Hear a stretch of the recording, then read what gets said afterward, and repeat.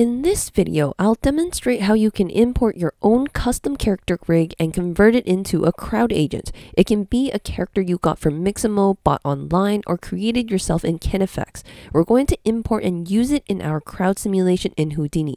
I'll also show you how to attach different types of custom animations to the crowd agent. Basic concept number four, custom character rig and animations.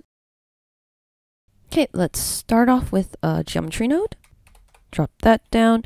Now we need an FBX character import node. This node will allow us to import our character rig into Houdini.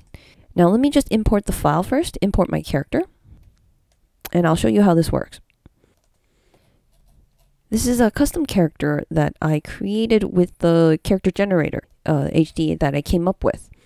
This character import node exposes three outputs out of this character rig. Now, say if you have a character rig you got from Mixamo or bought online, it's probably going to be in an FBX file format. So after you select the FBX file, it'll expose these three outputs. The first output is the character mesh. So this is where you have your character geometry, like all the polygons and all the points. Then we have the character rig, rest. And this is in the rest position. So let me turn this on. Uh, let me make the dots little. So these are all the joints of our or or our bones of our character rig. And this is in the resting position. So the third output is actually the animation. So you can also specify the animation file separately in, in the second parameter. Now I do have an animation that I can import into this character. Now, this these animations were made for this character, so we don't have to have any extra bone mapping or anything. This just works just because this animation was built for this character rig. Now let's take a look at what the animation looks like. So this is the third output right here. This third output will be the actual animation. So this is just, so this is a jumping animation. Now how do we actually get this jumping animation into this character mesh? That we need a bone deform. So this is sort of like the basics KineFX 101 bone deform. The bone deform is not something we're going to be using in the crowd solver because the crowd agent uses its own way of attaching animations to an agent that's more optimized for crowd simulations where you can have a scene that contains lots and lots of agents. The bone deform node is cool for smaller scenes with three to five characters maybe being animated, but it will start to slow down the PC if you try to pull a crowd scene with couple hundred characters being animated using a bone deform. That's where the crowd agent is more way more optimized. So we're not going to be using the bone deform. And this could be a good way to test your animation before you go ahead and set up the agents. So I'm just going to color this black because this is just for reference, just so you can debug your animation and to make sure if it's working correctly. Um, instead of using the F, uh, FBX character import, we're going to use the FBX animation import. This is a little different. This one only has one output. So it only takes in one FBX file, and that's the animation file. So that's going to be our jumping animation that I have here. Put the render flag here, and let's see what this is doing. It's just the same jumping animation, but it only has the rig. It doesn't have the character mesh attached to it. So how can we use this? So what we can do is take this animation, jump animation. And this is the character rig. Instead of using this to provide us with the animation, I'm going to be using this. So we're going to attach this guy to here instead. I'm going to attach this jump animation to here. And let's see what happens. We get the same result. And that's because this jump animation has the same output that's coming out of this third output of the character rig. It's the same data coming out of it. I like to use a separate animation import node just because it keeps things a little more clean. You may have multiple animations attached to your agent, so it might be a good idea to get used to all these animation import nodes. To me, it keeps it clean, but that's just preference. This is not set in stone. You can do whatever.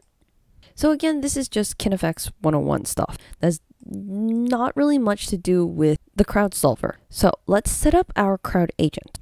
I'm going to put this in black since this is just for reference. Now, let's grab our character uh, rig and character animation. So we will be needing these. So I will copy this though. Now, how do we turn this this character rig into an agent, into a crowd agent, so we can actually use it in our crowd simulation. We can use the agent from rig node to convert our FBX rigged character into an agent object. The input needs a skeleton. Let's just grab the skeleton over here and stick it in. So we have our agent. It's not looking much like an agent right now. We only see a skeleton rig and we're missing the character mesh. We actually need to add that in separately using another agent layer node. But first, let's give our agent a name. You don't actually have to name it. It comes with a default name, but it's a good practice for future projects where you have lots of different agents and things will get messed. Now we're ready to attach the character mesh to the agent. We need an agent layer node. This will allow us to attach the character mesh to it. Now let's zoom in a bit. It has three inputs. It requires an agent. So that's what we're getting out of this guy. This agent from rig node outputs an agent. So we can use this and we'll attach it to the agent. So the second input, it requires the shape geometry, which is the character mesh. Character mesh is over here. Now, in order to put this rerouting um, dot node, as you're dragging out the line, press and hold down on the Alt button on your keyboard. Remember, you have to have the line dragged out first, and then hold down the Alt and left click to finalize where you want the dot to be. The third input is the captured pose. The captured pose is referring to the rest position of the character, which can be a T pose like this character I have here, or it can be an A pose. It's the resting position when the character isn't moving. To my experience, if you're converting an FBX rigged character that's already in the resting position, like what we're doing here, you don't really need to hook up the third input. Whatever we're sticking in here is already in the resting position. Okay, you play it, nothing happens. That's because we haven't hooked up the animation to it. So we now we have to attach the animation data into our agent. We need an agent clip node for the next step. The first input takes agent. So let's just hook it up to the first input. The second input of the agent clip is asking for a motion clip. This animation data that we have here is actually not a motion clip. This is just animation. How do we convert this animation data into a motion clip? We'll need a motion clip node to do that. Now this is what you're going to see. All these lines here. This is actually mapping out the animation all at once. So motion clips take your animation and in this case we have an animated rig and it flattens it all down onto a single frame like a graph. Have you ever seen those onion layers that 2D artists use to key in their frames? It's very similar to what motion clips are. Motion clips aren't limited to just character rigs in Houdini. They can be used for a wide variety of things like animation paths of a object or later on I'll have a specific mini series just for motion clips and you'll get to modify RBD simulation results without having to resim using motion clips. So we're going to take this motion clip and we're just going to hook it up there. And let's play it. Let's see if it's doing anything. Nope, still not working. Well, that's because we have to set this up. We have to configure this node. The input is not a character rig. It's actually a motion clip. So we gotta select that. Now let's give this guy a name. This will also be the state name as well. So we'll call it jump. Because crowd agents can contain multiple clips or multiple animation clips, we have to actually set it to the one that we want. It's much it's much easier in this example just because we only have one motion clip, which is the jumping animation. We need to actually set it to the jumping animation in order to actually see it. Enable this, click, and you'll see that jump appears. So it's getting the name from there. That's where this jump is coming from.